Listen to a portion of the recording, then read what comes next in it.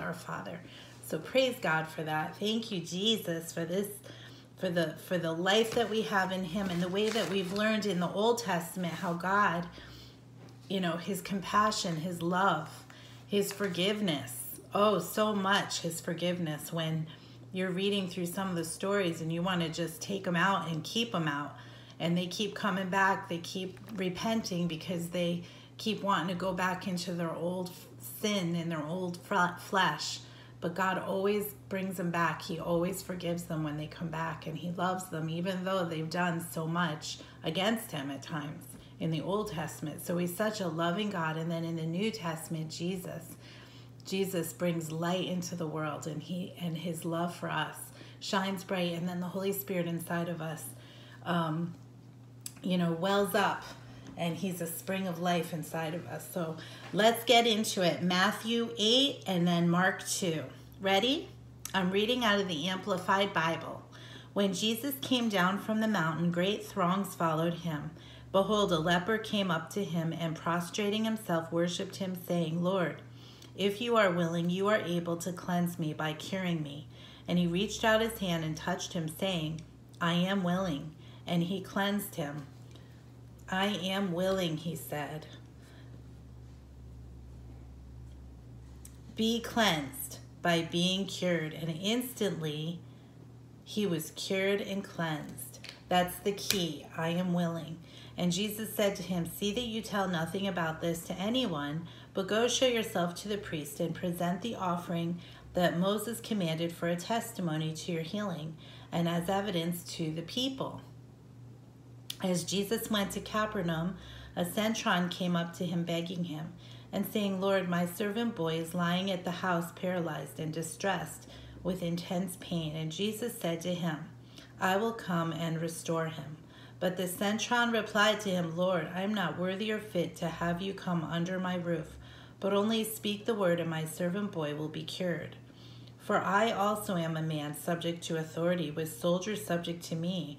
And I say to one, Go, and he goes, and to another, Come, and he comes, and to my slave, Do this, and he does it.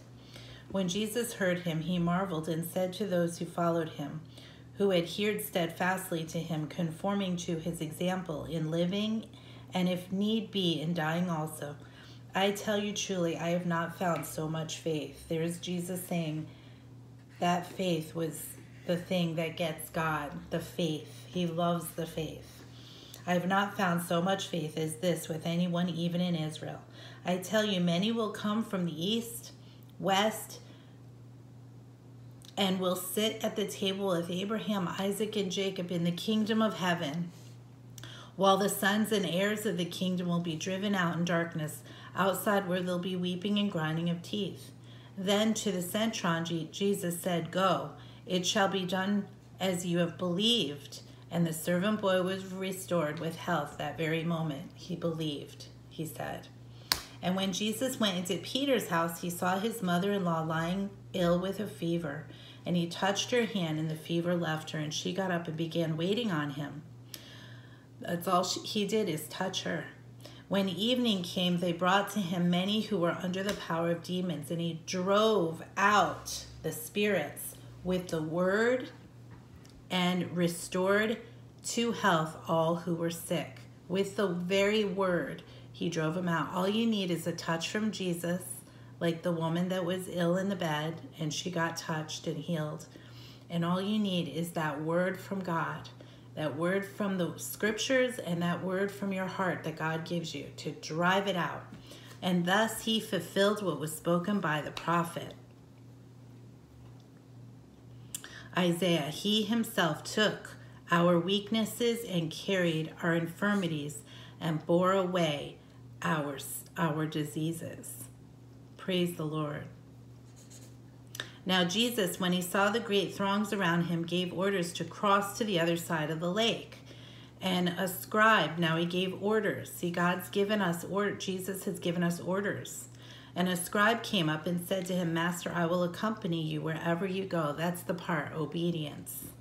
And Jesus replied to him, Foxes have holes and the birds of the air have lodging places, but the Son of Man has nowhere to lay his head. Another of the disciples said to him, Lord, let me first go bury my Father. But Jesus said to him, Follow me and leave the dead to bury their own dead. And after he got into the boat, his disciples followed him. So basically, he's saying, Follow me. Don't think about anything else. Just follow me. Trust me. Follow me. And after he got into the boat, his disciples followed him. And suddenly, behold, there arose a violent storm in the sea. So the boat was being covered up by the waves, but he was sleeping. See the peace. And they went and awakened him, saying, Lord, rescue and preserve us. But he was sleeping. And they went and awakened him, saying, Lord, rescue and preserve. Well, we are perishing. We are perishing. And he said, Why are you timid and afraid? Jesus said, "Oh, you of little faith. Do you see what the opposite of fear of uh, faith is? It's fear." Then he got up and rebuked the winds and the sea, and there was a great and wonderful calm, a perfect peaceableness. And the men were stunned with bewildered wonder and marveled, saying, What kind of man is this, that even the winds and the sea obey him? And when he arrived at the other side in the country of the Gadarenes, two men under the control of demons went to meet him, coming out of the tombs, so fierce and savage that no one was able to pass that way.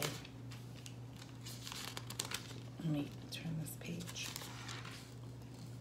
And behold, they shrieked and screamed, What have you to do with us, Jesus, Son of God? Have you come to torment us before the appointed time?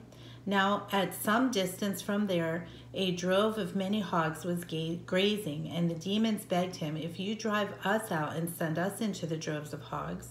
And he said to them, Be gone.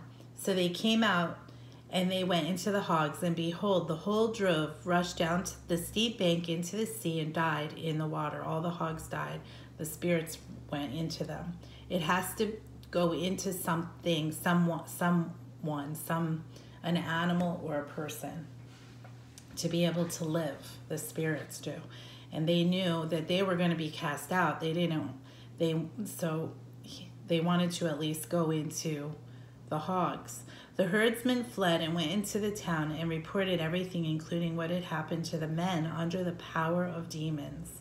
And behold, the whole town went out to meet Jesus. And as soon as they saw him, they begged him to depart from their locality. Can you imagine? They were begging him to depart because they didn't understand. They had fear. But with with Christ inside of us, what a blessing because we can take authority and we can say, Go, Satan, go, demons, get out, go. You have no right here. And they have to flee, and that's a blessing. That's a blessing from the Lord. And they didn't want him because of the fear. They were afraid. They didn't understand what he was doing. But wow, what a miracle that was where those demons left that person and went into the hogs. Okay, now now we're going into Luke. Or I mean Mark, I'm sorry. Mark 2. Mark 2, ready? With the Amplified again. Mark 2 says, And Jesus, having returned to Capernaum, after some days, it was rumored about that he was in the house, probably Peter's. And so many people gathered together there, there, there was no longer room for them, not even around the door. And he was discussing the word. And they came bringing a paralytic to him who had been picked up, and he was being carried by four men. And when they could not get him to a place in front of Jesus because of the throng, they dug through the roof above him. And when they had scooped out an opening, they let down the quilt or mat upon which the paralyzed man lay. When Jesus saw their faith, that's faith in action right there. When they, I mean, they're not going to go through all of that to not believe. They're going to put a hole in the wall and send the man down through the wall through the hole because they couldn't get through the crowds. They're not going to do it with not believing. They do believe. That's so Jesus said, "Wow." I, he saw their faith, their confidence in God through him. He said to the paralyzed man, "Son, your sins are forgiven. Put away the the that wait and put away that is the penalty of remitted the sense of guilt removed, and you are made upright and in right standing with God. This is amplified, so it's adding to help you understand what it's saying. He says, Son, your sins are forgiven, basically. Now some of the scribes were sitting there holding a dialogue with themselves as they questioned in their hearts, Why does this man talk like this? He is blaspheming? Who can forgive sins? They didn't realize who he was. Who can forgive sins except God alone? They didn't know he was God. Father, Son, and Holy Spirit, three in one.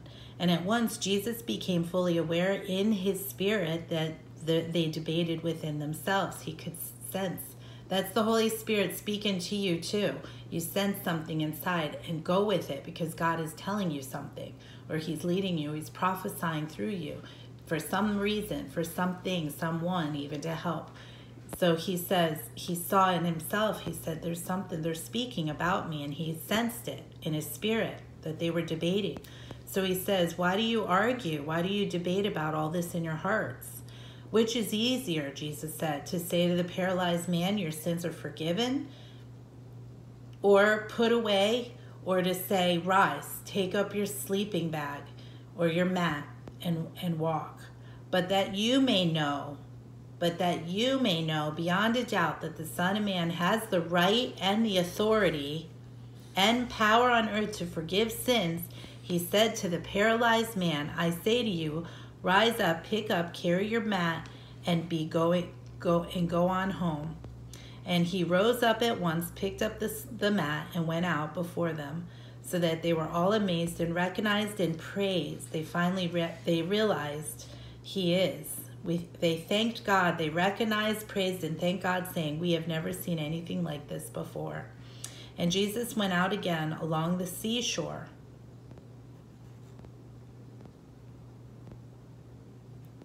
And the multitude kept gathering around him, and he kept teaching them.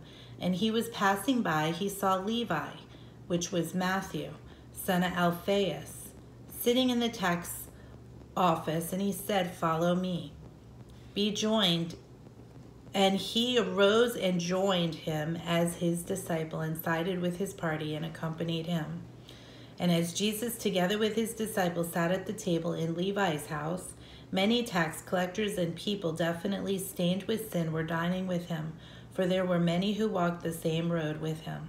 And the scribes belonging to the party of the Pharisees, when they saw that he was eating with those known to be especially wicked sinners, they were looking at him like, wow, you're, you're eating with sinners and tax collectors? That's what they're thinking. They said said to his disciples, "Why does he eat and drink?" The disciples were saying, "Why does he eat and drink with tax collectors and notorious sinners?" And when Jesus heard it, he said to them, "Those who are strong and well have no need of a physician, but those who are weak and sick. I came not to call the righteous ones to repentance, but sinners." Now John's disciples and the Pharisees were observing a fast. And some people came and asked Jesus, Why are John's disciples and the disciples of the Pharisees fasting, but your disciples are not doing so? And Jesus answered, Can the wedding guest fast while the bridegroom is with him? As long as they have the bridegroom with them, they cannot fast. But the days will come when the bridegroom will be taken away from them, and they will fast in that day. No one sews a patch of unshrunk goods on an old garment. If he does, the patch tears away from it. The new the new from the old and and it becomes bigger and worse. And no one puts new wine into old wineskin. If he does, the wine will burst the skins, the wine is lost, the bottle is destroyed. But new wine is put into new wineskins. One Sabbath he was going along beside the fields of standing grain, and as they made their way, his disciples began to pick off the grains. And the Pharisees said to him, Look, why are they doing what is not permitted or lawful on the Sabbath? And he said to, hold on. Praise you, Jesus. I'm sorry. He said to them, Have you never read what David did when he was in need and hungry, he and those who were accompanying him? Now he went into the house of God when Abiathar was the high priest and ate the sacred loaves set forth before God, which is not permitted or lawful for any but the priest to eat, and how also gave to those who were with him. And Jesus said to them, The Sabbath was made on an account for the sake of man, not from the not for man for the Sabbath, but the Sabbath is for us so we can take and rest. So the Son of Man is Lord even of the Sabbath. So, way up here, we're talking right now about how he was eating with tax, tax collectors and sinners and notorious sinners and drinkers and but God Jesus said it's the sick who need me not the well not the righteous. It's the sick who need me. And that's the humility. That's the humility. And now and that's the love the love. And now um, then jesus answered can the wedding guests okay now the wedding guests were fasting some of them were fasting and they said well why do your disciples not? Because jesus was with them. But when jesus said but when i leave then they will fast. And that's why we fast now too because jesus now he is in heaven but we fast and pray we believe. But at the time he was with them. And they were doing it out of religious sake. That's why they were the other people were asking you know why do your disciples not fast? Well that was religious sake. Just like um, looking at jesus like well why are you eating with those people well that was you know, to show them that this is the love of God, this is the grace of God. He, he reaches in to pull you to Himself, to restore you, to heal you. And the fasting is for us also not to move the hand of God. That's another wrong thinking. It's not for us, Him to move, or us to move the hand of God. It's for us to get ourselves quiet and and trusting Him, keeping our eyes and our focus on the Word and on God not thinking about even eating, just focusing on God and the Word, taking that time to just listen to Him and talk to Him and clear ourselves and hear from Him. It's not to move the hand of God. And the same thing with the, um, and then the new wine. The new wine is put into new wine skin because the Holy Spirit restores us and then He pours His new wine, the Holy Spirit, into us. Jesus does. He restores us to health, to life when we ask Jesus in our heart, and that new wine goes in and it heals us. If it's put into an old wineskin that doesn't understand, it's not going to do anything. It's going to just go. But when the Holy Spirit can come into someone who's newly created in Christ, and we are saved, we love Him, He is in us. He's it, we are new wineskin with new wine, the Lord, the Holy Spirit.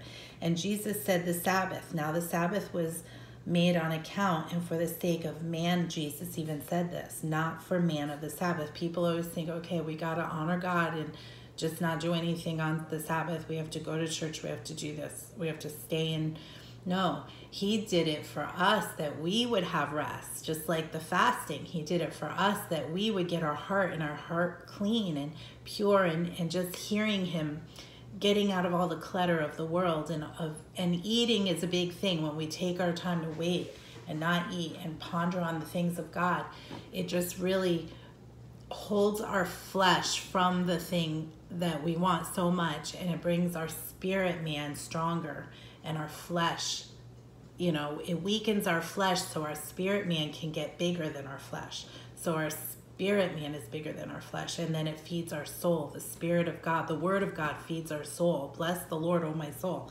And Jesus saying, the Sabbath was made for man so we can rest. So the Son of Man is Lord even of the Sabbath. He is Lord of the Sabbath. He is Lord. He is to be praised and worshiped.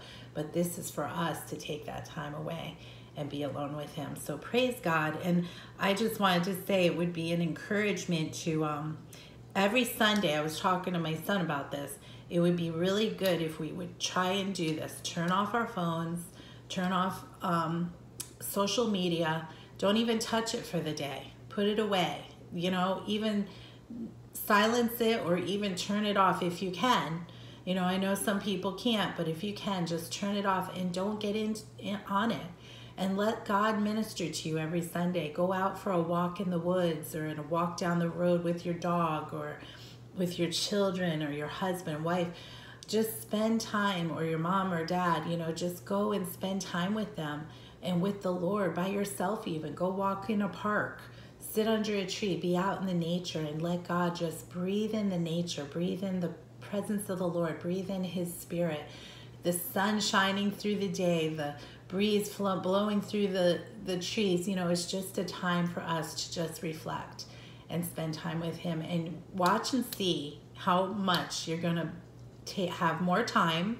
You're going to enjoy yourself more because you're not on social media. Social media just pulls you and you don't realize what it's doing. It pulls from you. You need time with God. You need time to know that you are special in Christ, in Christ in you. You need it for yourself. You need it to worship God. Let Him be lifted up and love on Him. He needs it. So praise God. He needs it because He's done it. And uh, if anybody's wondering about my earrings, I got these earrings from my daughter's friend, Kiana Harum. Kiana Har- Harum, H A R E M. Uh, she's on Instagram, and if you want to get um, these kind of earrings or any kind of um, key, uh, keychains made or any kind of um, like a car, something on the mirror that hangs like a, um, you know, um, rainbow or whatever, you know, she can make little things. She can make things for uh, flowers to hold flowers which I have. I have the whole set. And I my color is this color, so I wanted to wear it today just to show it and also to help sell it.